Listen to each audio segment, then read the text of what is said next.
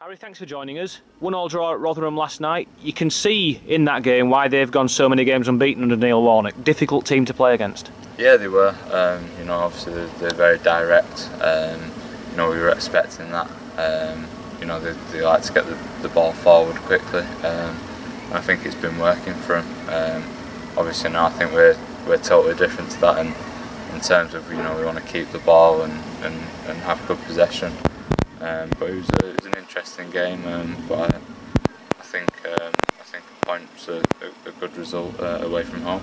The head coach talked after the game about the, the team's development under him over time, and I think in that first 20 minutes when we were a little bit under pressure, we showed part of that development by sticking in the game and, and keeping the game in, in reach for Nahki's equaliser. Yeah, definitely. You know, um, there's, there's been some, some big clubs uh, that have gone there and and, and found it found it difficult. You know, I think the first 20 minutes were difficult, but we uh, you know we stuck together and, and obviously kept kept um, kept the ball well and, and, and, got ourselves back in the game. That's the thing. Bravery in football is often related to tackles and, and last-ditch headers, but in the face of that pressure, it's brave to get on the ball and play the kind of game that we want to play. Yeah, definitely. You know, um, especially against a, a, physical side like Rotherham. Um, you know, they were they were very physical and you know we've got a few um, you know experienced lads who, who, know the league well and, and obviously um, you know know how to win games. Um, so I thought we, we did well and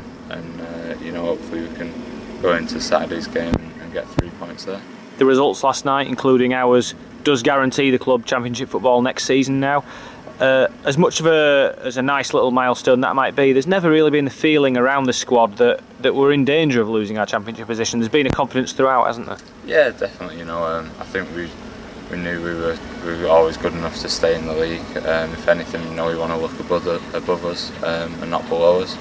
Um, and you know, we've still got nine points to play for. Um, so we, we're going to go going to go into the next three games wanting to win and, and, get as high up the league as we can. Say that you, you, speak to David, you speak to guys like you. There's certainly no danger of us switching off for these final three games. We, we want to finish this season well. It would seem fitting if we did, wouldn't it? Yeah, definitely. You know, that's that's what we're paid to do. We're, we're paid to to, to do do our best, and, and I think that the next three games are all winnable games. Um, you know, that's no disrespect to the three teams that we're playing, but I, I do believe that we can we can take three points off all of them as much as that's important, there is kind of a prevalent feeling around the fans that they're, they're, now looking to next season and people are excited about what could be achieved here.